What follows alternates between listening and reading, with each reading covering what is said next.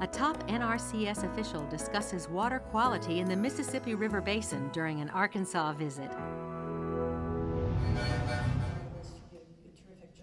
Ann Mills, Deputy Undersecretary for Natural Resources and Environment at USDA, spent three days in Arkansas visiting local farms to see firsthand the steps farmers have taken to improve water quality in the Mississippi River Basin and prevent nutrients from contributing to a hypoxic or oxygen depleted zone in the Gulf of Mexico.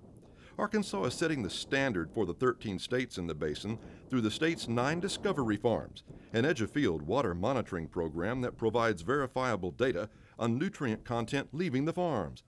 Prior to the tour, participants were briefed by state officials about the efforts farmers are making to implement nutrient reduction strategies. The head of the Arkansas Natural Resources Commission was pleased to have Mills see these efforts. In my view, there's no substitute for getting people in those kind of positions to get their feet on the ground in Arkansas and see the work that our farmers and ranchers are doing. I attended the first meeting of this task force in, in 1999, and uh, Arkansas is on the leading edge in terms of uh, implementing what we're now calling a state nutrient management reduction strategy, something we've been doing in Arkansas with all of our partners and farmers and ranchers really since about the middle 80s. But so we're, we're making good progress.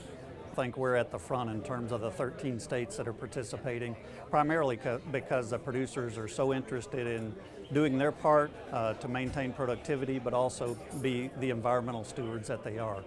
One of the stops on the tour was to Terry Dabbs' farm. Dabbs has participated in the Edge of Field water monitoring program for the past three years. Through the use of a tailwater recovery system, he's able to retain nutrients for use on his rice and soybean fields.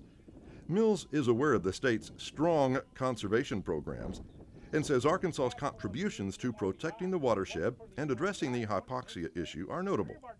Well, Arkansas farmers have been just tremendous leaders among the 13 states uh, in engaging in conservation practices, investing in conservation practices that are having uh, a measurable impact on improving water quality, not just here in the state, but in the Gulf of Mexico.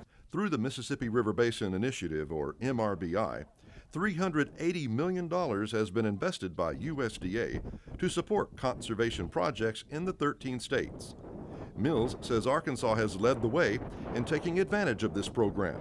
These dollars are competitive dollars, and so thanks to the strong partners here in the state, uh, the, uh, Arkansas has been able to uh, promote um, very compelling projects uh, and have proven that uh, they are ahead of the pack in terms of putting great conservation on the ground.